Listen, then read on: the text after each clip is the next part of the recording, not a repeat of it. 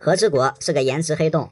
和之国篇在表情管理这一方面尤为的放飞自我，只有表情没有管理，但也无法料到，不管是帅气、冷峻、漂亮、可爱的颜值，都接二连三的崩了。从和之国开始没多久，凯多帮路飞和基德完成了当年的约定，两人新世界有缘千里来相会。接着，弗兰奇和乌索普两个人看到路飞被抓的消息，表情管理彻底失控。不过他俩曾经有主导巨型大皇帝的前科，他们默契沙雕不足为奇。但是，一向以温柔、优雅、知性著称的罗宾，颜值也晚节不保，毁于一旦。罗宾以前也不是没有表情包，在德岛的时候，不好意思，尾田对称狂魔，当时还是他仨。当时觉得对不住居鲁士的时候，罗宾也被带坏了，做出崩坏表情，但总归还是美的。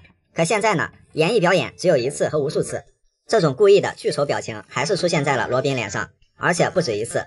后来草帽阵营被通缉，有了各自浮世绘画风的通缉令，为了躲避追查，罗宾、乌索普梅开二度。而且罗宾这个身段，我的天，请问这是哪位大娘？反正不是罗宾酱。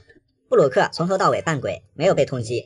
虽然对一个骷髅来说，做出生动的表情很难，但可以看得出来，布鲁克已经很尽力的在跟着演绎表演了。期间还有索隆，索隆做出这个表情，倒还不是因为路飞被抓，是吃了有芥末的寿司被呛到了，被噎到了。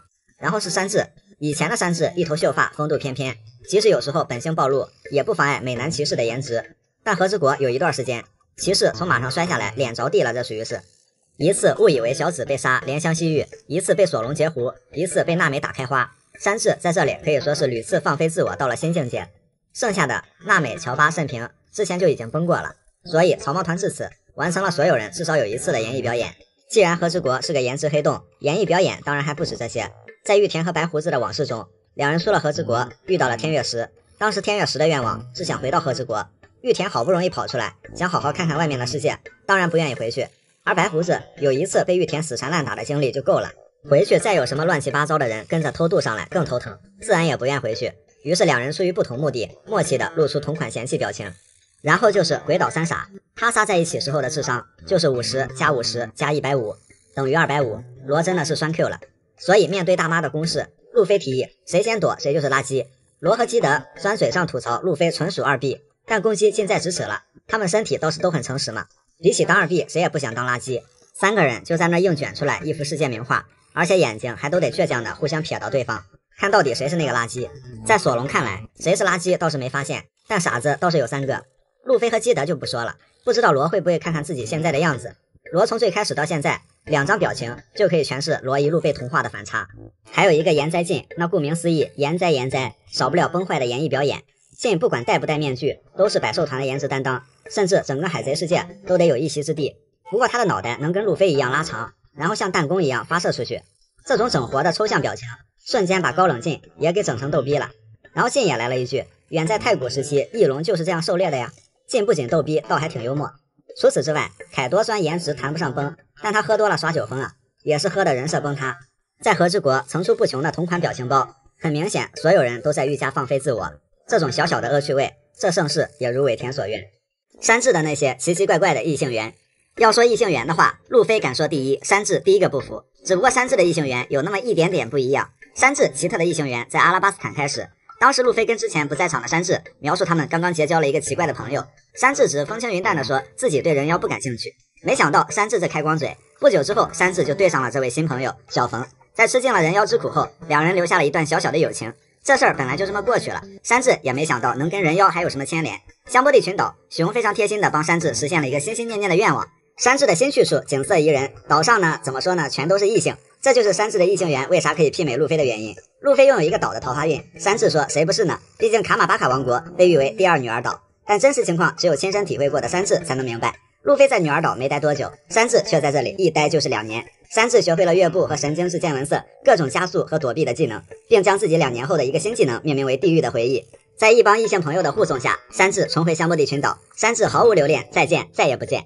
在得知路飞和女帝认识后，山治心态瞬间崩溃，嫉妒使人面目全非。如果可以，山治高低得找熊倾诉一波：为什么只有我的梦想货不对版？两年后，命运给了山治一些补偿，第一站就是愚人岛，山治的奥布路。不过，山治还没有尽情享受多少愚人岛的福利，就差点被压抑了两年的鼻血一波带走。又是多亏了山治的开光嘴，他千想万想都没有料到，这里居然也能遇见自己的故人。在山治失血过多、命悬一线的时候，乔巴找来了俩人妖给山治输了血。知道真相的山治上蹿下跳，情绪几近崩溃，真是造化弄人。山治最早只是说他对人妖不感兴趣，结果到了这里，山治的身体里已经流淌着人妖的血了。到了和之国，这里可算没有山治避而远之的人妖了。可是他的那种奇奇怪怪的异性缘并没有终结，因为这里有女装大佬小菊。小菊是个男儿身，自称武士。但和之国最后泡澡的时候，小菊一个纯爷们儿是在女澡堂泡的，所以小菊的定位是以男儿身自称武士，而内心是个女生。但不管怎么说，在不知情的山治的眼里，小菊一直是位美丽的 lady，曾多次对小菊袒露浓浓的爱意。索隆、路飞、乔巴是先后知道了小菊是男人的，山治就一直蒙在鼓里。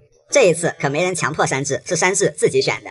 已经可以想象到路飞漫不经心地说小菊是个爷们儿的时候，山治那种精神崩塌的表情了。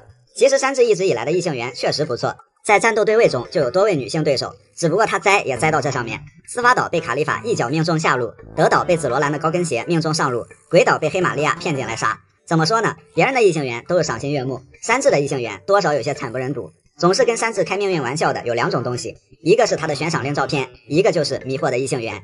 在这方面，山治是输家也是赢家，因为山治曾经有过一段两厢情愿的真挚感情，那就是布林。在各方面，两人都很搭，只是山治不知道的是，布林剪掉了他们那晚的回忆。后来，布林拳打了欺负过山治的倪治和永志，在那场黑暗的血色婚礼中，美丽的公主对王子动了真情。黄猿不同工资所对应的形态。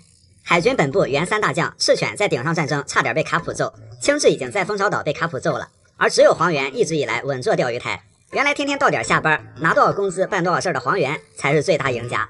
黄猿有四种形态：演员、战斗员、屠宰员以及特殊形态救生员。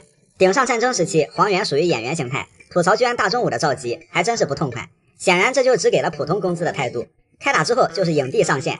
之前香布地群岛跟雷利拼剑术的时候，那是稳如一棵松；现在跟马尔科对位的时候，宛如一张优美的卫生纸，飘逸，但稍微有点风就飞了。然后路飞出乎所有人的意料降临战场，黄猿一看大外甥来了，海军工资也没给够，那还有什么好说的？那就开演吧。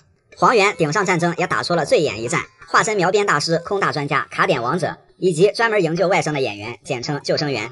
你要单看黄猿身上，那还以为顶上战争海军打得不费吹灰之力呢。结果事实是，海军本部都让白胡子给强拆了，轻质轻伤，赤犬浑身都是伤，只有黄猿衣服未脏，干净的以至于出门走一圈，没人看得出来他参加了一场腥风血雨的大战。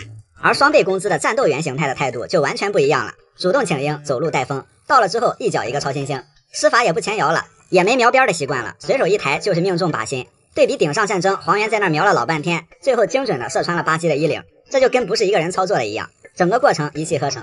只不过后来见到大外甥，那就跟工资没关系了，全都是人情世故。每次遇到这种情况，都是救生员形态。不过跟雷利打的时候，又能丝滑的切换到战斗员形态。但是想到海军，也就给了双倍工资，还不至于跟雷利这种级别的对手拼命。但是既然工资到位了，那也不能空手而归吧？战后抓了五百个小海贼回去交差了，别管抓的谁，就说抓没抓吧。而三倍工资加绩效奖，那可又是另一番景象了。化身屠宰员形态的黄猿，对比顶上战争如坐针毡的演员，那就是纯纯是两个人。那时的黄猿满脸写着“快点下班吧，双叶幼稚园没我可不行”，而打责法的时候，黄猿毫无感情，全是冲 KPI 的满满热情。到这才发现，哦，原来黄猿的八尺瞄边玉是能打中人的呀！当然，这种情况是极少数的。黄猿作为剧场版里加起来戏份最多的大将，大多时候都是出工不出力。在《狂热行动》最后的彩蛋里，赤犬又发火了，因为当时不管是收拾巴雷特，还是抓捕超新星，海军都没有完成。巴雷特是路飞收拾的，最后海贼们还都在眼皮子底下跑了。黄猿的八尺描边玉，这回描边都不描了，直接被萨博断大。黄猿表示，这种情况我要认真了，龙那边可就不给我发工资了。香波地群岛，黄猿在场，路飞被熊拍飞了。顶上战争，黄猿在场，路飞被罗救走了。狂热行动，黄猿在场，路飞在萨博的掩护下跑了。瑞的剧场版更不用说了，红发都生气了，那就到点下班吧。这一次去弹尖岛，不知道海军给了黄猿几倍工资，但身边有个老邢跟着，总不能还这么演吧？不过不管黄猿拿出什么形态，总感觉只要黄猿到场，那路飞基本就稳了。乌索普的超远透视挂，乌索普的感知能力一直以来都堪称是奇特，倒不是能毫秒之间躲技能的那种感知能力，而是有些东西，比如一些声音或者气息，别人还感知不到、够不到的时候，乌索普却能先一步察觉，最后慢慢演变成了一种极品透视挂。乌索普是草帽一伙中第一个察觉到梅利号传精灵存在的人，不过那时候大家都在休息，乌索普是半夜上厕所意外发现的，但闻讯赶来的索隆并没有发现异常。空岛这一段也并不能证明乌索普有什么超乎常人的感知力，毕竟传灵是船和伙伴们亲密到一定程度下自己就会出来的。乌索普是第一个感知到的，不过后面伙伴们和冰山老板也都可以听到梅丽。主要是在那之后，乌索普对梅丽的这种感知越来越强烈了。在司法岛和 CP 九的战斗进入收尾阶段，但面对海军的围堵，他们即将又会陷入下一个困境。在突围的时候，乌索普的感知能力好像突然敏锐了起来。乌索普又是第一个听到了梅丽的呼唤，在司法塔上给弗兰奇送钥匙的时候，乌索普就察觉到了一瞬间奇怪的声音，只是还不是很确切，其他人还都没有察觉到。这么远的距离，乌索普是怎么第一个感知到的？这就不得不怀疑乌索普那个时候就有着一种超强的远距离感知天赋。后面继续突围，乌索普听到地道的尽头有些不妥，然后直接就说有洪水，让前面的哥俩快往回跑。但碍于全身骨折重伤，根本无法阻止索隆山治。山治没有察觉。乌索普又问索隆：“没有听到水声吗？”索隆虽然是觉得有些奇怪，但没有停下步伐。结果不久之后，洪水真的就涌过来了。好在可可罗婆婆救了大家。之后，乌索普真切地感知到梅丽来救他们了。这时候，路飞、索隆他们才都听到。乌索普让大家往下跳，成功和梅丽一起突出重围。突围后，起初全船人都证实有人呼唤他们，但对梅丽自己开过来这件事很懵逼。只有路飞和乌索普确信那是梅丽的声音。路飞是有倾听万物的天赋的，乌索普呢，除了对梅丽感情最深厚之外，好像还有一种更远、更敏锐的感知天赋。在特别篇梅丽篇的最后，一只金色船灵出现在桑尼号的桅杆上，乌索普也是早早察觉到了它的存在。在特别篇黄金之心中，已经是两年后了，大伙实力都有了很大长进，三大主力也都掌握了霸气。路飞、索隆、山治几乎是同一时间察觉到了危险迫近，乌索普稍微慢半秒。这时候乌索普虽然显得有些懵逼，但乌索普的眼睛也红了。看来，在波音列岛两年的提心吊胆，一不小心就会被吃掉的修炼历程，没有白白遭罪啊！这里乌索普的见闻色，看样子和路飞、索隆、山治还有很大差距，成长速度是不是太慢了？直到德雷斯罗萨，经过前面的铺垫和成长，中后期英雄乌索普终于一战封神，真正觉醒了远距离定位感知的见闻色。乌索普这个见闻色和路飞他们的还不大一样，路飞他们是偏向预判，乌索普这堪称是个透视挂，清晰的人像和气息浮现于眼前，一炮不仅挽救了路飞和罗。也极大的改变了局势。乌索普两次扭转德岛战局，所以明哥不惜自掏腰包悬赏五亿除掉乌索普。路飞都不如乌索普的待遇，但确实乌索普的厚积薄发也配得上 YYDS 的名号。山治的四次提升和加强，草帽一伙一路上每到一个地方都会成长一波。但要说出海后第一次大幅增强和成长，是在司法岛篇，草帽一伙迎来了全体加强。路飞、索隆、山治更是展示了新形态或不少的新技能。山治在海上列车上用出串烧和整形梯套餐，以及唯一一次用刀作战，菜刀双刀流。在司法岛对战 CP 九加布拉时，用出绞肉系列 T 技，首次用出恶魔蜂脚，小腿部分产生高热。在恶魔蜂脚状态下，山治可以强化 T 技，攻击速度和威力也大大增强，直接改变了拉锯战的局面。加布拉是 CP 九里唯一一个可以在铁块状态下出招或者移动的铁块拳法使用者，但被山治的恶魔蜂脚一脚破防。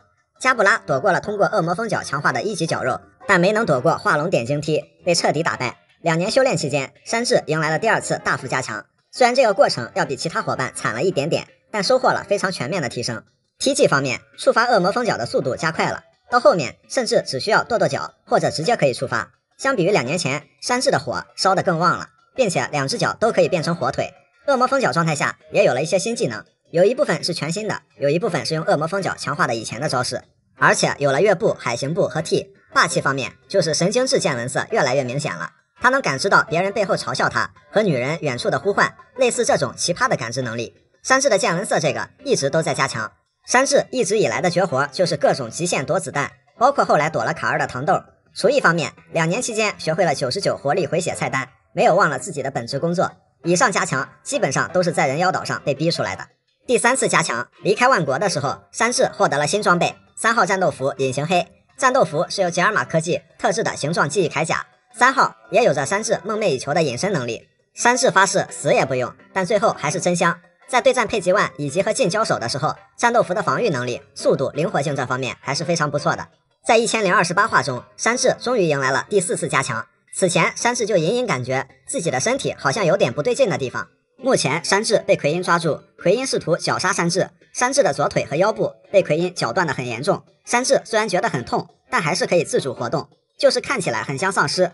乔巴担心山治不会变成僵尸了吧？但奇迹发生了，山治的身体直接自行恢复了。此时，山治好像也意识到了自己的身体还是跟血统因子有关。山治表示自己不想变成那样的怪物。名场面，山治越是说这种嫌弃的话，后面表现出来的真香定律就越有灵魂。但接下来更香的事情发生了，奎因用刀去攻击山治，但碰到山治身体的时候，刀断了。以前是加强技能或者装备，这下直接加强了体质。从古猎王到金刚狼，文斯莫克家族，山治和雷九才是最成功的那两个。山治不仅有丰富的情感，超乎常人的体质其实也没丢，与陆军沾，沾得好。几次的加强后知后觉，山治可谓已经非常全能了。山治颇有各大黄团二把手的综合体的意思，有马尔科的飞行能力和踢技，还有恢复能力；有卡二的感知能力，有贝克曼的高智商，有劲的火焰属性，有和溪流一样的隐身能力，还和索隆一样会用刀。尾田这是要把山治化成真正的二把手的意思吗？不过不开玩笑的说，山治一直没有调出三大主力。鬼岛一战，草帽一伙的战绩和收获。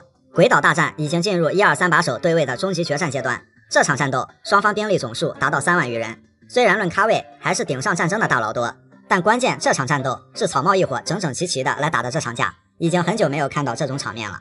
其中及时平安归来的盛平表现的强悍且轻松。开局没多久，一个过肩摔，配合罗宾将四皇大妈送出门外，在护送路飞去楼顶期间，独自留在城堡第四层对位凌空六子福兹福。福兹福赏金五亿四千六百万，在凌空六子里属于 C 位。称自己的实力不输罗布路奇，其实慎平打福兹福还是很轻松的，总共也没过几招。中间慎平还故意演了两招，等福兹福把太阳神尼卡的信息说完，战斗以慎平一招鬼瓦正拳怼脸结束。弗兰奇霸气机车入场，贴脸怒怼四皇，后再掩护大和小忍逃至撤退后，对位上凌空六子提木，提木赏金四亿七千两百万，比九千四百万的弗兰奇高很多。三角龙形态的提木也是逗逼技能一大堆，脖子上的警盾能旋转螺旋升天，佩刀之上还有刀片，可以秒变电钻。弹丸角龙没控制好方向，想往前冲却挂了倒挡，场面非常尴尬。不过最后那一下冲击力非常可观，能把弗兰奇将军给撞到部分损坏。不过费了这么大劲，还是被弗兰奇本身的镭射击败。娜美、乌索普全场基本都在游走，准确的说是轮流被润提、佩吉万和大妈等等各种怪物撵着跑了一路。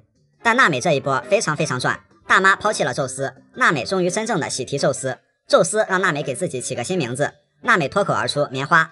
宙斯丝毫没有犹豫，说：“算了，当我没说吧。”宙斯和天后棒完美融合，不仅可以变成像狼牙棒一样的武器，雷电的威力丝毫不减。经过多轮的纠缠，娜美最终用可以锁定追踪目标的宙斯击败悬赏四亿的凌空六子润提。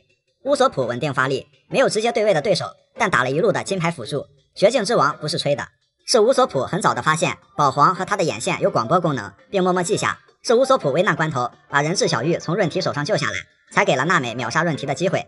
而且当时战场上武士阵营被压制，关键时刻乌索普抓住能广播的宝皇，让小玉对那些事先吃了丸子的 smell 能力者发号施令，大批凯多手下开始倒戈，士气大振，局势开始转变。而且宝皇好像也是个萝莉，乌索普萝莉杀手名不虚传。罗宾营救山治，对山治能呼叫他来帮忙感到很高兴。对位悬赏四亿八千万的凌空六子黑色玛利亚，罗宾一开始处于被动局面，后面化身前所未有的恶魔形态，属实惊艳，碾压黑色玛利亚。比战斗更有意义的是罗宾在情感上的升华。罗宾和乔巴有些像，一直被嫌弃为怪物和恶魔之子，这让他们始终活在阴影中。他们本心并不是怪物，也不是恶魔，但正是因为身边有能让他们无所畏惧、无比信任的一群人，他们才会心甘情愿变成怪物和恶魔来保护伙伴们。因为他们已经再没有什么好怕的了。在回忆中，罗宾在二嫂那里还学了些愚人空手道。布鲁克在免疫冰鬼第 N 次无敌后，后面基本在给罗宾打下手，给罗宾创造一个没人打扰的单挑环境。后面保护罗宾撤退，但目前 CP 零的人已经开始追捕罗宾了。虽然现在阿普和德雷克在和 CP 零对峙，不过布鲁克应该快到表现的时候了吧？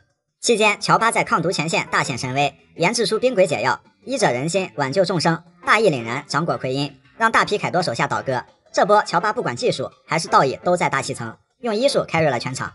路飞这边，和之国开局雷鸣八卦运一次，人兽凯多一棒引奈落运一次，后来坠落鬼岛运一次。但没开三度后，凯多发现路飞每晕一次都会变强。路飞对霸王色缠绕的掌握越来越成熟，和凯多对撞，阵列云层，路飞坐实五皇之位。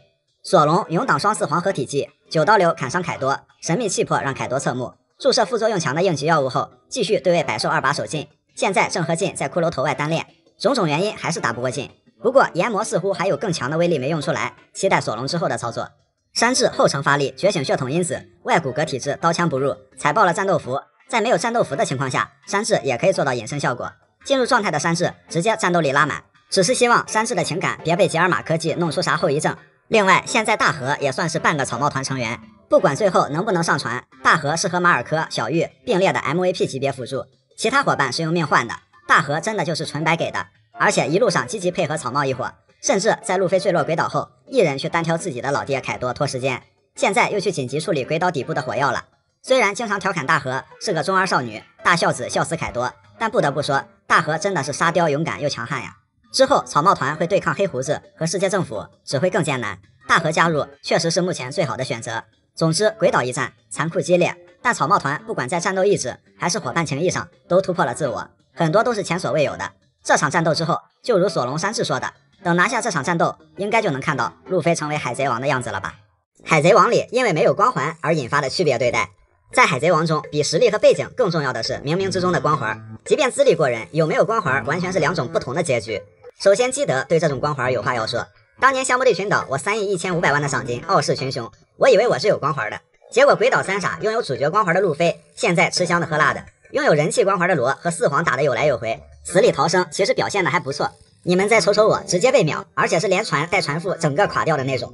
基德表示懂了，这就是因为没有光环而引发的区别对待。其实基德和路飞的莽夫性格最像，基德算是真正的草根版路飞。要说路飞有主角光环，罗有人气光环，巴基有运气光环，那基德只有一个死都打不赢红发的完美闭环。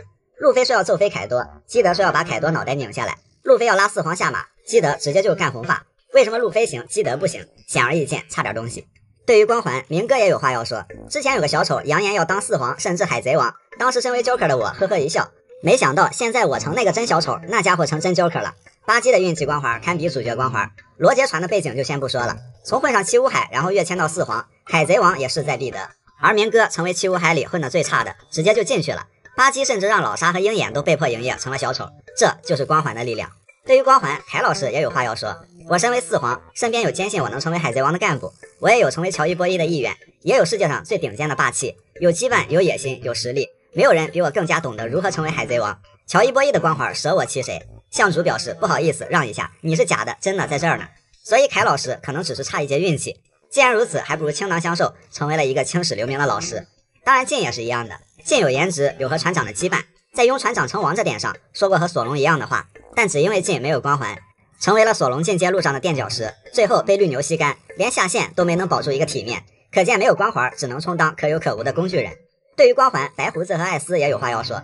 家人们，谁懂啊？都说如果白胡子和艾斯不死的话，路飞就没法顺利当上海贼王，在海贼之巅必然有一场大义灭亲之战。白胡子表示不至于，我一个旧时代的残党，梦想是家人，我对海贼王真不感兴趣，要当早当了。唯一的夙愿就是艾斯成王，这个可以交给艾斯自己决断。艾斯表示不至于，我一个前王遗孤，在这世上就这些情同手足的人了。老爹不想当王，弟弟喜欢当这个海贼王，那我就让了，直接弄死人，多少有些歹毒了。所以白胡子和艾斯看似身份显赫，实则是一点光环没有，直接献祭新时代。对于光环，红发也有话要说。红发说：“啊，这里为什么还有我？因为红发虽然有面子，但是还真不一定有成王的光环。早已具备争夺 One Piece 实力的红发，到现在才出手，似乎早已计划好了一样，行为呢越来越反常，黑化的可能性越来越大。当然，黑化不等于变坏，有可能因为一些难言之隐，又或者又堵了点什么东西进去。因为红发之前立志要乘坐自己的船到达拉夫德鲁。”到和巴基分道扬镳的时候，说自己改变了想法，暂时不去了。而中间最关键的转折点，就是罗杰成为海贼王后，给红发说了什么，红发嗷嗷大哭。也许是红发因为某种原因，注定无法成为海贼王，他的全部赌注都压在了路飞身上，所以红发最后还是有因为没有光环而被区别对待、弃掉的可能性。所以在海贼王里，只靠实力和背景的上限，到四皇就到头了。而想成为海贼王，那只有生死有命，富贵在天了。草帽一伙修炼期间受到的各种关照。草帽一伙被熊拍散到世界各地后，中断了往常如胶似漆、天天乐乐呵呵在一起打闹的日子，迎来了新的生活，结交了新的朋友。幸运的是，身边这些朋友对他们还都不错。首先是路飞，在跟着雷利钻进丛林修炼时，路飞背着一个卡哇伊的水杯，上面印有九蛇海贼团的标志。在此之前，女帝想着每天给路飞送来吃的，结果被雷利以会打扰路飞修行为由拒绝了。想必女帝是用这个卡哇伊的保温杯来寄托自己的日夜思念。两年后，路飞重新出发，他穿着一件过分清秀的上衣，这并不是路飞以前的风格。这件衣服显然就是女帝的那件衣服改的。两年后的剧情中和飞页中，这件衣服再也没出现在女帝的身上，而路飞一直断断续续穿到了现在，甚至要穿到当上海贼王。另外，路飞腰上的那条飘带和女帝也是情侣款。除此之外，两年后，女帝还把自己的大外套给了路飞，准备了一个超级大包裹。并阻拦海军护送路飞起航，雷利也在香波地岛上为徒弟断后。然后是索隆，在克拉伊喀纳岛上被佩罗娜所救，一照看就是几天几夜。当然，佩罗娜也想让索隆快点好，然后起来陪他玩。随着关系逐渐亲密，佩罗娜可以驾驭兄妹、姐弟、情侣、仆人等多重角色。他举着报纸给索隆看，快看看你船长到底在给你传达什么信息。索隆当时很长一段时间并没有悟出什么。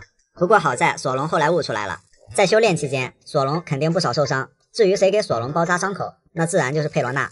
做饭这种事儿轮不到索隆，鹰眼和佩罗娜负责做饭，主要还是鹰眼做的更多。也可以想到，平时佩罗娜也会领着索隆回房间或者回城堡。索隆这小日子过的，啥事儿不用操心，只用专心修炼。当然，收菜摘果这种力气活，那没准会落在索隆和狒狒团头上。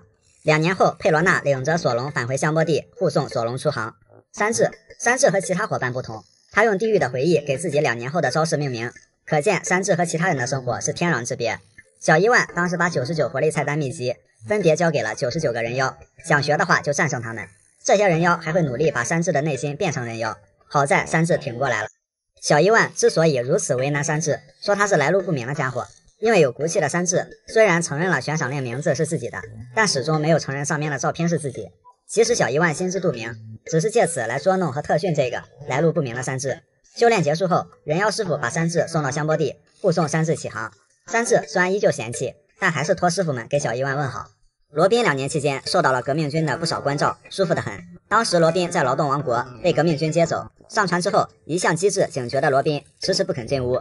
革命军的人见状，赶紧招呼人把毯子、热饮料、饭菜、挡风板、沙发搬出来，所以就看到了罗宾在甲板上悠哉惬意的画面。到了革命军大本营，罗宾和萨博、科尔拉等人成了好朋友。除了学习专业上的一些东西，还学了一些鱼人空手道。萨博还想教罗宾龙爪拳，那罗宾学了这个岂不是无敌了？不过罗宾的恶魔形态应该也得益于在革命军时的修炼。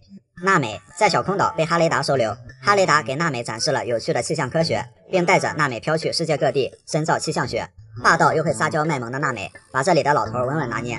听娜美要求，他们给娜美安排了单独的住处，教给她气象知识，图书免费阅览。两年后，小空岛飘到了香波地上空，用气象武器护送娜美出航。乌索普在波音列岛遇到了荒野勇士海克力斯。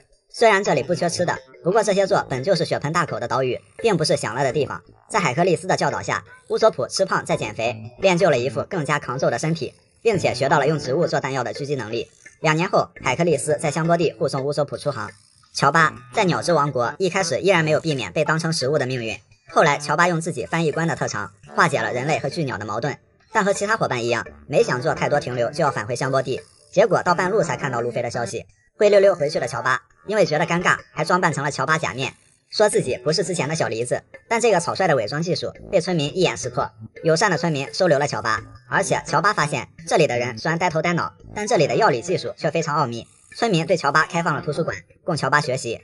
两年后，乔巴重返香波地，并骑着巨鸟将路飞他们接到了桑尼号上。弗兰奇他在未来国巴尔基摩亚遇到了基东一家大爷，看弗兰奇天寒地冻，只穿了条胖子，还贴心的让他穿上围裙。而弗兰奇以遮住下半身有损他变态之名为由拒绝了。之后，大爷一家带弗兰奇来到了贝加庞克的研究所，在这里发现了很多兵器类图纸。此后的两年，大爷家成了弗兰奇的可乐补给站。弗兰奇就在研究所继续改造自己和精进发明技术。布鲁克他和其他人更不一样，所以就说别人在荒山野岭修炼两年，布鲁克开了两年的巡回演唱会。当然，精进自己的音乐也是修炼，术业有专攻嘛。起初，布鲁克被一群信徒当成了恶魔撒旦。不管布鲁克乐不乐意，反正这群人是都主动把胖子给布鲁克看了个够。之后，布鲁克被长手族强盗关了起来。很快，布鲁克就成了乐坛明星，几个长手族作为经理人，也跟着赚足了票钱。虽然是被利用了两年，最后还被告密，不过布鲁克的丧魂剑是长手族打造的，布鲁克也乐在其中。绅士的谢别经纪人后，在迪巴鲁一伙的护送下返回了桑尼号。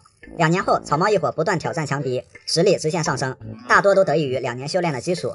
除了磨练实力，彼此间的信任更是得到了时间和空间的检验。这是草帽团走向巅峰路上承前启后的重要经历。路飞最船长的时刻，路飞平时有时候会很白痴，有时候也会被全团人欺负。路飞很多时候在伙伴面前不会摆船长架子，但路飞依然是草帽团的队魂。因为当路飞认真的时候，就知道路飞就是那个不可替代的船长。路飞为了伙伴可以倾其所有，为了伙伴可以改变航向，甚至调转船头。在克西亚村，阿龙一伙的凶恶不绝于耳。可路飞依然在娜美说出了“路飞帮帮我”后，选择和阿龙一伙死战。在水之都，路飞并不在乎他所要面对的敌人是谁，他依然闯入司法岛。听到罗宾为何而离开的原因后，路飞说：“终于知道罗宾的敌人是谁了。”随即让狙击王烧穿了世界政府旗帜。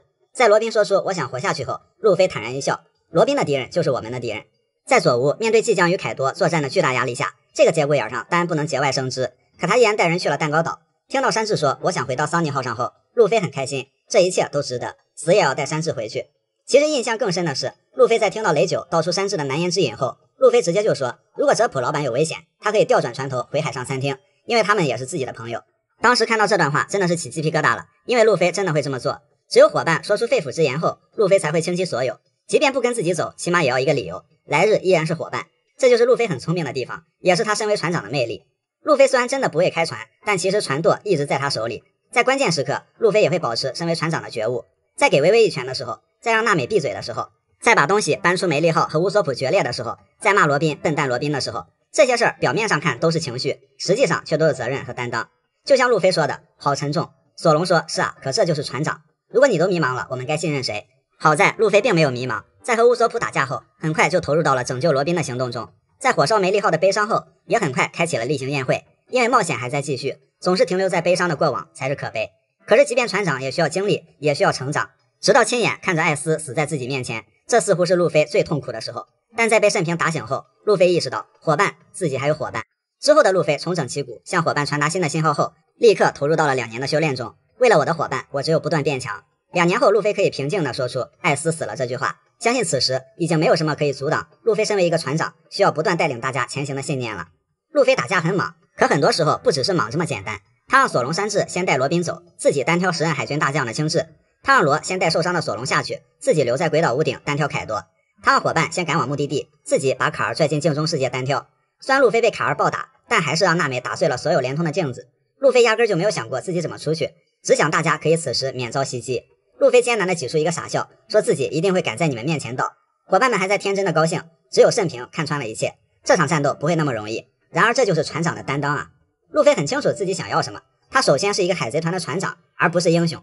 虽然路飞这一路上一直在做好事儿，但他自己也不希望别人把他做的事儿看得很高尚。因为路飞做的好事儿，基本都是以伙伴或者朋友为出发点。简而言之，就是自己想做，他才会去做。推进城越狱、顶上战争、挑战海军权威，意味着什么？这完全不在路飞该考量的范围内。他只想救他在乎的人。路飞一直都是想当一个开着宴会、吃着肉、自由快乐的海贼而已。因为当英雄实在太累了。路飞的拳头只为自由和伙伴战斗，路飞的船只为冒险和梦想起航，而这恰恰才是真正的船长。海贼无间道早期有个克洛船长卧底在可雅小姐家做管家，被路飞打败后，本以为这是卧底时代的结束，没想到是卧底时代的开始。之后千奇百怪的奥斯卡级别的影帝层出不穷，甚至像世界政府的 CP 奈这种，干脆直接就组团来卧底。为了搞到冥王的设计图纸，在冰山社长的周围扮成大大的良民，潜伏了好几年。知道真相的冰山瞬间人就傻了，千言万语在心中汇聚成一句话：原来小丑竟是我自己。此后，一个组织或者团队里，看吧，卧底已经不是什么新鲜事儿了。西乌海里的熊本是革命军老大龙的人，保护过草帽团和桑尼号三大将里面的蒙奇蒂，还有堂吉诃德家族德雷斯罗萨的小明，可是玩卧底游戏的高手，把莫奈安插在凯撒身边当秘书，只是常规操作。小明的干部维尔哥早早就到了海军里当卧底。维尔哥用了十几年的时间，做到了海军中将和 G 五支部基地长，深得海军信任。小明心想：黑白两道通吃，卧底真是这个世界上最美妙的东西。巧了，此时在海军本部放羊的战国也是这么想的。因为小时候被战国收养的克拉松，藏着海军的身份，回到哥哥小明身边做了卧底。小明一开始并没有察觉到克拉松和海军有什么联系，活生生上演了一出双方互派卧底、互相不知情的无间道。到了现在的和之国，表面上有超新星联手干四皇，暗地里那就是卧底们的你方唱罢我登场的表演时刻。首先，凯多手下凌空六子的德雷克是海军的人，而且还是特殊机密小队队长。凯多手下的阿普曾经卧底到过基德的讨伐红发的联盟里，那会儿大家一拍即合，达成共识，然后结果都知道了。基德等人直接撞进了凯多宽阔厚实、热情似火的温暖怀抱里，而传次郎、狂死郎、丑三小子三个身份都是传次郎一个人。传次郎一开始化名狂死郎，潜伏在大蛇身边。他实则是赤鞘九侠之一。光月日和化名小紫，也是潜伏在大蛇身边，寻找报仇机会。那一晚，因为护子和日和惹怒了大蛇，为了不搅黄卧底大计，也为了保护日和，传次郎和日和俩卧底，在大蛇眼前上演了一出瞒天过海、金蝉脱壳的好戏。而九侠里的看十郎反而是大蛇的人，以至于警卫门等人的行踪屡次莫名其妙的泄露。所以现在凯多的地盘上。在一些人还没有显山露水的情况下，就已经各方卧底群卧荟萃了，简直就是卧底集中营。能让草帽一伙产生心理不适的事物，首先，罗宾对很多奇怪的东西都能保持包容甚至欣赏的状态，但是有一样东西罗宾不能接受，就是反人类的恶趣味合体。在冰火岛，路飞和警卫们的下半身粘到了一起，路飞还很高兴的模仿半人马。路飞的操作被罗宾直接吐槽太恶趣味了，能被罗宾都吐槽为恶趣味，路飞也是很可以了。还有两年前恐怖三维帆船期间的弗兰奇、索隆、山治、乔巴、乌索普合体出来的巨型大皇帝，索隆、山治也给了面子，但罗宾丝毫不给面子，不仅拒绝加入合体，还吐槽这种操作非常羞耻，还说了两次托尼托尼弗兰巴的混合状态。或许是罗宾迄今为止最厌恶的一种生物，迫使罗宾不得不抱怨：别再用乔巴做出那副表情，别再用那副身体说话了。弗兰奇，你还是干脆闭嘴吧。前后三次试图阻止这种行为。接下来能让山治产生心理不适的是人妖自己的初代悬赏令上的画像，以及当着他的面说这张悬赏令上的人就是你。然而后来在小一万那里，真的就出现了满足以上这些条件的名场面。人妖拿着山治的悬赏令，逼山治承认悬赏令上的画像是他自己。当山治所厌恶的所有元素都叠加在一起，山治直接就会被气到往外呕血。一直以来，山治的悬赏令形象一直一言难尽。刚开始被画了一张抽象版，还奇迹般撞脸背锅路人迪巴鲁。然后是愚人岛时期往海里跳的时候，被抓拍了一张新型眼镜的。然后和之国浮世绘画风的山治，画风依旧感人，主要是山治帅气瞬间一张没拍到。索隆偏偏每次都是那种海豹级别的，山治心理上肯定会受不了。布鲁克恐惧所有犬类毛皮族，所以布鲁克很怕去犬栏那边。虽然犬类毛皮族给布鲁克尸体男爵的爱称，都很喜欢他，但是近乎无敌的布鲁克是最怕这群犬类毛皮族逮住自己一顿啃。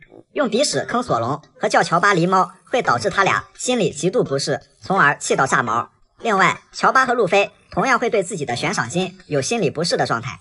乔巴是认为自己的赏金配不上自己男子汉的表现，而路飞则是因为数漏了一个零，错以为自己便宜了，导致心理落差过大，出现极度不适。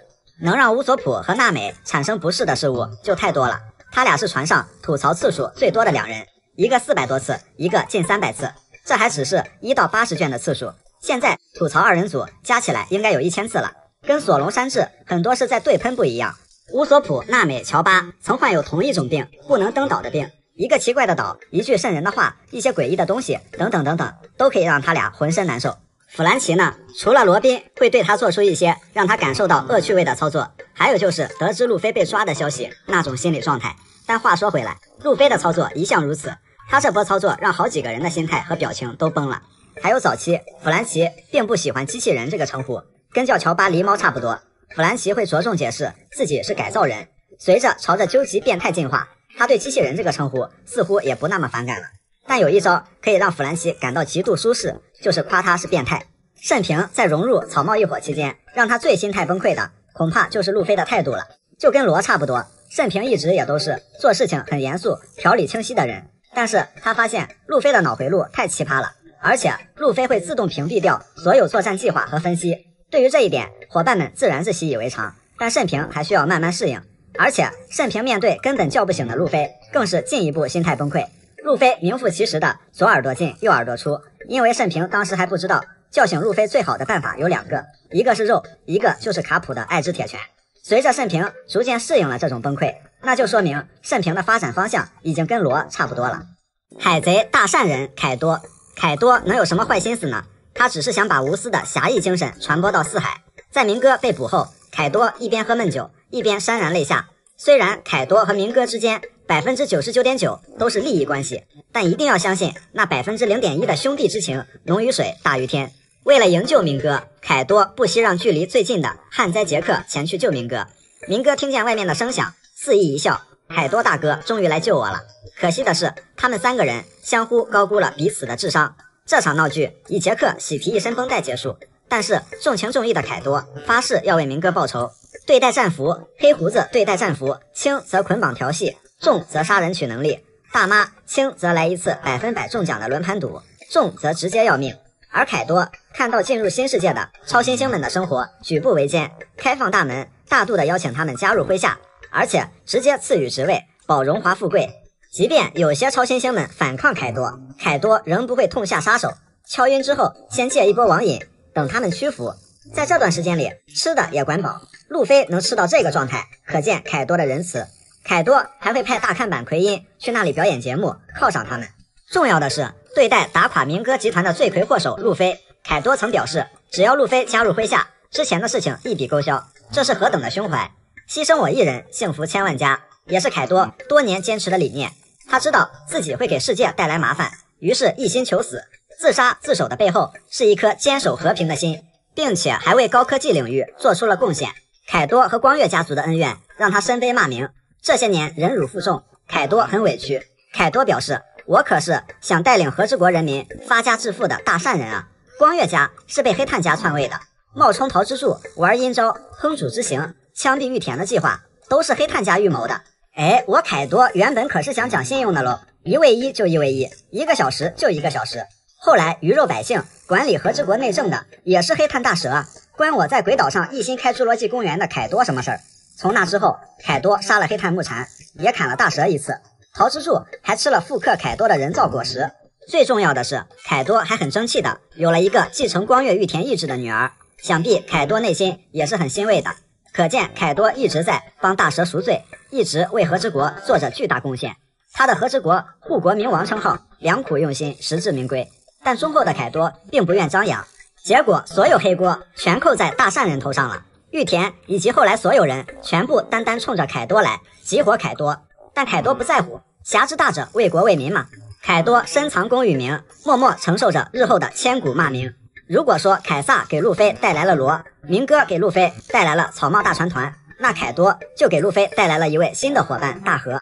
如果大和后面真的上船了，那凯多可以说是路飞最大的恩人之一，因为在这里，凯多给路飞补课，给了路飞大几千，并还在不断增加的小弟，甚至还给了自己的女儿，凝结了超新星们团结的意志等等。凯多还是个忠厚人呢。海贼王里有钱人的枯燥生活。说到海贼里的有钱人，穷的只剩钱的黄金帝德索罗，这个拥有世界上百分之二十财富的土豪，是真正可以字面意思上视金钱为粪土的人。黄金在他眼里确实不算什么值钱的玩意儿，因为他用黄金造船，用黄金盖房子，用黄金造一座城，连马桶、浴缸什么的也全都是纯金打造。黄金在他眼里的价值小于等于水泥。虽然他都那么有钱了。但在德索罗身上，却也可以看到，钱确实不是万能的，买不来失去和逝去的一切。所以德索罗干脆就用钱干钱该干的事情，那就是为所欲为，用钱疯狂填补内心的空虚和遗憾。在纸醉金迷的黄金城中，随处可见象征斯特拉的纯金星星标志。他让比自己先笑的手下活活憋死在黄金中。街上无数的豪华跑车，就是他玩腻的玩具。德索罗成了梦寐以求的大明星、大土豪、大老板。他身边可以簇拥很多人。钱可以让他享尽世间的荣华富贵，但他现在有再多的钱，却也买不回斯特拉。相比于直接造一座黄金城来炫耀的德索罗，文斯莫克家族就相对另类一点。准确的说是炫耀的方式不同。加治选择了烧钱烧的最厉害的玩法，那就是无限发动战争和疯狂研究黑科技。北海就不用说了，甚至利用那些造价不菲、还可以翻越红土大陆的可拆卸式蜗牛战舰，将战火蔓延到其他海域。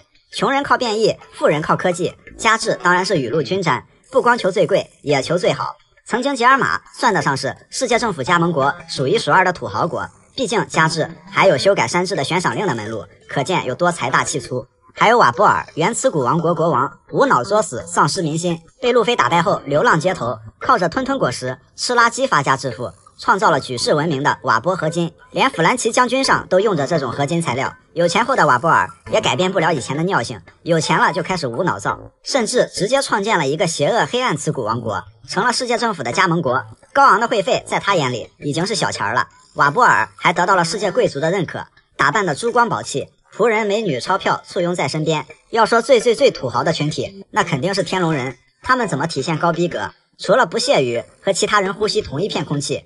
罗杰五十五亿多悬赏，白胡子五十亿多悬赏，对天龙人来说，这不就是填几个数字吗？全世界大大小小的悬赏加起来，总之能不能抓到他们，那不是最重要的，重要的是要有格调，要有腔调，就告诉别人，只要有价，多少钱他们都付得起，这才是土豪想表达的唯一意境。除了这些，老沙、明哥、凯多、艾尼路，个个都是显而易见富可敌国的豪。巴基老板手里还有个约翰宝藏不动产。一旦完全发掘，海贼福布斯排行榜前三名必定有巴基的一席之地。至于他们如何烧钱，无非就是像上面几个一样。这么一看，有钱人的生活的确就是这么朴实无华且枯燥。海贼王里一看就是一家人系列，蒙奇 D 家族，路飞和爷爷卡普身上的共同点格外明显，性格直率，直言不讳，正经的时候很正经，沙雕的时候特沙雕，上一秒还在吵架互怼，下一秒就能同时一起睡过去。这种神奇的相处方式，外加路飞显赫身世的曝光，当时直接震惊所有人一整年。这种吵着架能睡着，吃着饭能睡着的特点，还发生在艾斯身上。虽然艾斯和卡普并不是血亲，但卡普和路飞都有能把人给带歪的神奇属性，所以艾斯身上都能看到蒙奇家族的影子。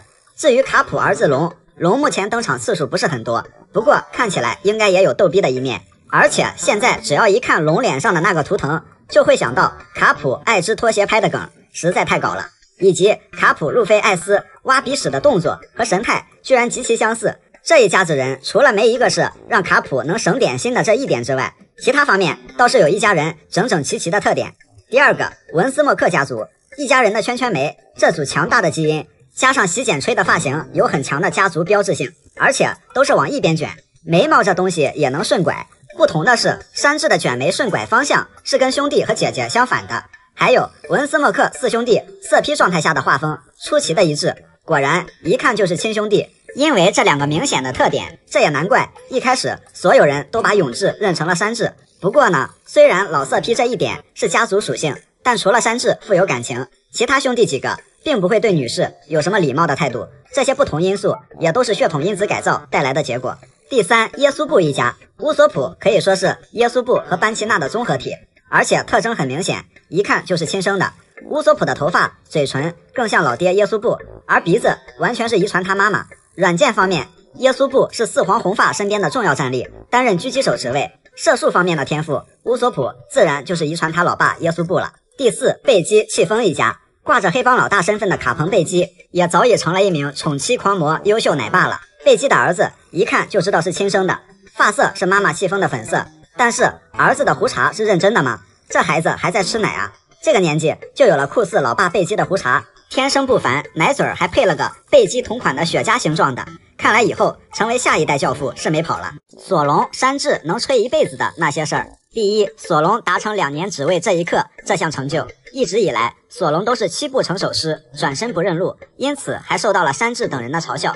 但是两年后的香波地，索隆翻身路痴把歌唱。第一个到达了香波地的签到地点，其他人都没到吗？真是拿他们没办法。索隆邪魅一笑，如是说道。雷利和夏奇则是发出了意味深长的感叹。尽管战功赫赫，可索隆并不是喜欢显摆的人。曾经他扛住了成吨伤害，浑身是血，也当什么没发生过。但是第一个稻香波地这件事，索隆可是说了一路。七号还敢对一号这么横？索隆向山治甩出了这句攻击力不高但侮辱性极强的话，气得山治原地炸毛。而后又假装漫不经心的点了一下最后一个到的路飞，可以看出索隆对这件事可比砍了谁家的那个小谁还要骄傲。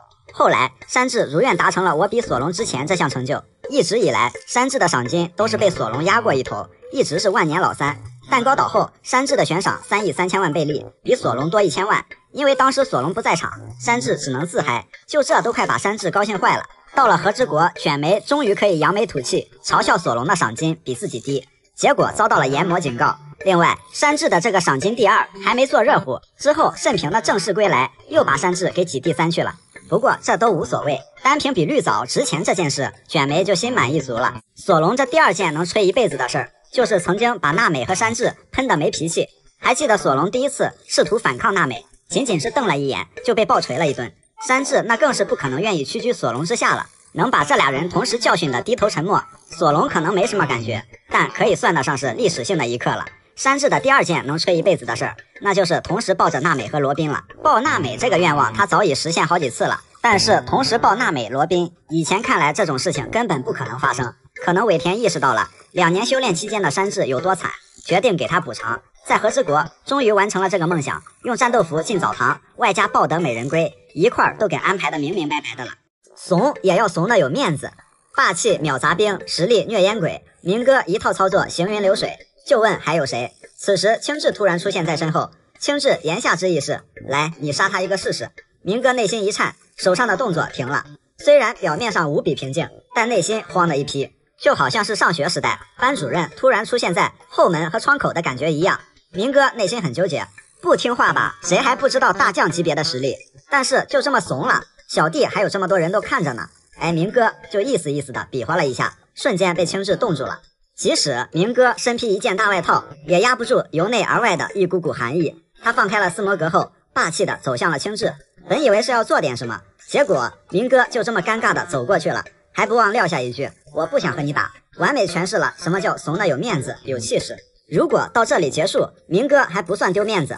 结果明哥嘴上说不怕你，然后硬是又走到安全距离，再尴尬回头，到了这个距离才敢回头质问青雉。已知青雉两米九八，明哥三米零五，明哥这得是闪出去十米开外了。所以这场交锋，以青雉一步没动，明哥脸上笑嘻嘻，心里骂青鸡，一步一步挪开战场而结束。当狂妄自大的黑胡子遇到巴雷特的时候，心里也是直接秒怂了。老黑当然知道巴雷特是什么级别的人物，这牌真的要不起。不过要表现的不卑不亢，黑胡子有时候还是想要那么一丢丢面子的，嘴上虽跟手下说别理那家伙。跟明哥一样，脸上笑嘻嘻，大摇大摆离开这里。但黑胡子内心此时就俩字儿：快跑！黑胡子这里表演比较拙劣，一看就知道是怂了。凯撒在即将被路飞打败时，逗逼凯撒反应还很快，看自己快不行了，赶紧当路飞的面说：“有事儿好商量，我可以让你当我的部下。”这就很搞了，怂都怂了，凯撒不赶紧拜路飞为大哥，居然还妄想赐予路飞当自己部下的权利。属实让凯撒这想怂的有面子的操作给整笑了。不许动，黄猿！这句经典台词是出自舞台喜剧《桅杆上的贝克曼》。桅杆上的贝克曼是著名表演大师黄猿所编排的。贝克曼是比肩四皇红发的人物，虽说黄猿双手举起确实有表演成分，但多少也有点怂。真的跟贝克曼乃至红发团交上手，肯定不是什么好事儿。当然，以黄猿的表演功底，他把那种轻松、戏谑、嘲讽和调侃。表现到了极致，那一瞬间恍惚之余，还真的很难认定老黄到底是真怂还是假怂。就说怂的有面子、有气势这个操作，黄猿版本的怂显然比明哥和黑胡子、凯撒更高端。全身上下写满了惨的基拉，基拉作为两年前极恶世代超新星之一，那会儿赏金一亿六千两百万，这个价位也不算低。而且当时基拉、基德两个人的赏金分别要高于同样是一团双星的索隆、路飞。倒不是因为基拉基德就是比索隆路飞强，是因为基德海贼团一天不整出点人命来就浑身难受。基拉和基德差不多，除了看谁不顺眼就动手之外，基德是谁嘲笑他的梦想就要他命，基拉是谁嘲笑他的笑声就要他命。所以基拉起初之所以叫杀戮武士，他这赏金里边也埋了不少人命。基拉不至于像基德这么刚，有时候还会劝基德收敛点。基拉因为不是主角团，又不是船长，属于地中地这一级别，露脸的机会不多。哦，不是。他这从小到大也没正儿八经露过脸，但是因为现在是五星战双黄开黑五人组的一员，基拉这一次最起码能好好展示展示自己了。基拉这个人的生平经历，那属实是惨，因为他讨厌自己的笑声，所以在被迫吃人造恶魔果实之前，一直都戴着一个面具，也从来不会放声笑。基拉和基德不同的地方在于，基拉遇事之后还挺理智，就是点儿太背。当时基拉撮合阿普和霍金斯来商讨讨伐四皇红发的大计，但卧底阿普上来就一顿作。基德这暴脾气，两人话不投机半句多就要干架，还是基拉做和事佬给他们劝开的。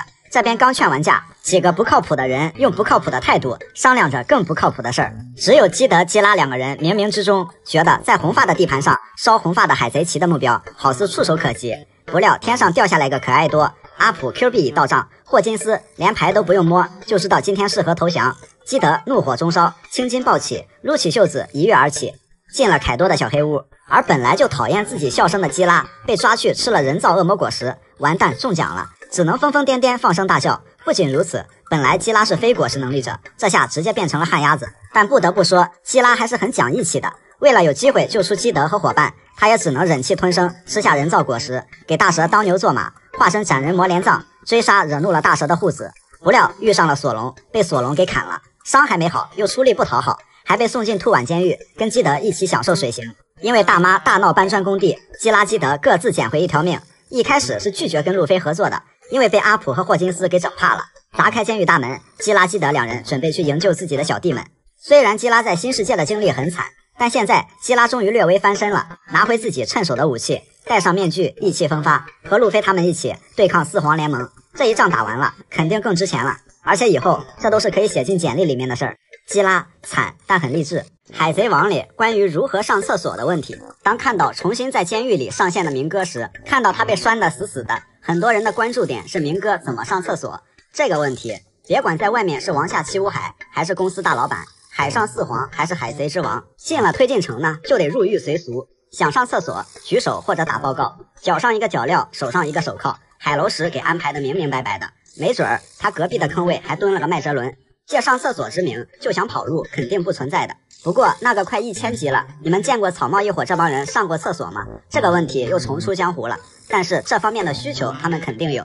当年布鲁克出狱路飞他们的时候，路飞看他是把骨头，就好奇的问了一句：“你会上厕所吗？”布鲁克犹豫片刻，说会。山治还吐槽：“这么简单的问题还需要想吗？”虽然他是个骨头，不过打嗝、放屁、上厕所，布鲁克都会。布鲁克加入后，因为到了一个新环境，难免陌生拘谨，想上厕所，但是不知道在哪儿，还是索隆抱着他去的。打开万里阳光号的设计图，会发现船上一共有三间厕所，大浴室里有一个，连接一二层的两趟楼梯之下各有一个公厕，这就避免了所有人都往浴室里挤的尴尬。尾田不愧是建筑系出身的，就这设计结构的严谨性，简直是无懈可击。早早的还设计了一个水族馆。甚平没地方睡，还可以睡大鱼缸里，而且像路飞、基德、乔巴等人都体现出了暴饮暴食、身体大好几圈都没有大碍的体质。路飞的橡胶体质本来就能憋，另外只要是会生命归还这项技能，用它控制器官的容纳面积，一两天不去厕所都很正常。所以对一些人来说，上厕所并不是每日的刚需。不过又一个问题来了。在海贼王里，两个势均力敌的对手在岛上约架，一打就是几天几夜，不眠不休，不吃不喝，不进不出，这个换谁来都扛不住吧？这就涉及到了一个随机应变的情况，人多点还好，比如曾经罗杰团和白团打群架，三天三夜，那可以挨个轮番去，还有队友照应着点。俗话说，两军交战之时，不斩如厕之人，这叫武德。像赤犬和青雉两人在岛上怼了十天，遇到这种情况时，即便再大的仇恨，也得讲人道主义，不是？有一方想方便时，自动进入保护期，对方就得立刻停手。解决完毕后，保护期自动解除。要是腿蹲麻了，不听使唤了，被对手抓住把柄，那就只能怪自己的运气太拉垮了。明哥和他的堂吉诃德家族在九百五十七集中，除了一些情报，还有一些熟悉的老面孔重回视野。掉线已久的明哥也再次上线。自从被路飞终结后，明哥就成了泉水指挥官，每次出场都是谈古论今，纵横天下事，说累了就吃点牢饭。过着一人住一大单间，一日三餐有人送的生活。不过，明哥作为没落的黑帮老大，曾经也潇洒过，也辉煌过。当时，身为七武海的明哥，其最终梦想何止是七武海，何止是海贼王？他要毁灭这个世界，重新建立一个由自己一人掌控的新秩序。野心这一块不输黑胡子。起初，支撑他这个黑暗梦想的，不只是自身实力，还有自己的堂吉诃德家族。从用扑克牌的花色为干部团划分类别这一操作上来看。明哥不光是喜欢和凯多他们玩斗地主啊，还有点强迫症。整个堂吉诃德家族有森严的上下级关系和血之家规，违反家族家规的人会受到穿刺之刑。堂吉诃德家族有几个高级干部，分别是托雷波尔、迪亚曼蒂、皮卡、维尔戈，还有一位曾经的高干亲弟弟克拉松，表面上是第二代红心，实则是海军中校。其中托雷波尔率领的梅花军是特殊能力小队，有童趣果实砂糖、邓邓果实紫罗兰、艺术果实乔拉。都是些没什么攻击力，但比较奇特的果实能力者。紫罗兰公主是明哥明抢的，两人的关系呢就不言而喻了。迪亚曼蒂率领的方块军是格斗军团，季老头、蹲压果实马哈拜斯、游泳果实塞尼奥尔和德林杰都是些以强体术为主的干部。皮卡率领的黑桃军是特工部队，有爆爆果实古拉迪乌斯、转转果实巴法罗和武器果实 Baby Five，玩枪玩炮会爆炸。另外还有第一代红心维尔哥。早早派去了海军当卧底，雪雪果实莫奈在凯撒身边当秘书，而上面那四个高级干部带坏小孩子，那是一套一套的。从小就是谁敢欺负小明，他们就带人将其一锅端。哪条路把我们家小明给磕碰到了，他们就把整个小镇给炸了，把明哥活活宠成了极端的唯我独尊的思想。后来唐吉诃德家族羽翼丰满，明哥当上七武海家族企业，向着上市公司发展，明哥也对这个世界越来越不满。明哥说：“世界的未来将由我来安排。”假装辞去七武海，罗，你带着凯撒和草帽小子一起来，咱们坐下来好好谈一谈。你俩马上就要跟这个世界说拜拜。眼看公司股票几个涨停板，结果人算不如天算，十年基业被一拳干到破产。曾经堂吉诃德大老板，如今的泉水指挥官。明哥说：“我遇到一点麻烦，微信转账三百块，懂我意思吗？我向你敬礼。” s a l u 剑士的克星，四分五裂果实。有这么一个神奇的果实能力，使用者就算是挨了世界第一大剑豪的几刀斩击，也会毫发无伤，使其懵逼。它的存在就是恶心这些玩刀的人。这个就是巴基的四分五裂果实，它不仅能让自己裂开，也能让米某人裂开。巴基可以被动，也可以主动分裂，也就是不管巴基有没有见闻色，敌人刀剑上有没有武装色霸气，所有的斩击对其都是无效的，除非是用含有海楼石材质的刀剑。所以这个能力只要不被铐上海楼石，能力者可以在推进城的牢笼和明哥的鸟笼里出入自如。但是钝器对他依然是有效果的，也就是凯多的一棍雷鸣八卦。巴基要是没有能预见未来那种级别的见闻色，照样能跟拍黄瓜一样被凯多拍地上。那在剑士面前，四分五裂果实能力者，这不就怎么砍都砍不死了？砍不死是真的，但是可以让他无法复原。根据四分五裂果实的设定，巴基的分裂也是有极限的。巴基是可以分裂成碎片，但是如果分得更细小，就没办法控制了。如果这样的话，巴基这辈子就彻底成了字面意思上的人渣了。比如把巴基扔进绞肉机里，他可能永远都不会复原了。除此之外，四分五裂果实还有一个奇葩的技能，就是浮空。浮空本身不奇怪，因为像明哥也可以用果实能力上天。明哥是用线拴着云飞，如果万里无云，空旷无垠，没有借力物体，那就只能下来没病走两步了。巴基身为分裂人，只要一分裂就可以浮空。奇怪的点在于，他双脚必须得着地，而且有效控制范围是以双脚为中心，半径二百米的范围内，超出范围就不受控制了。就是开局巴基被路飞打飞后，他的屁股和腿只能留在原地，最后还差点被他手下给埋了。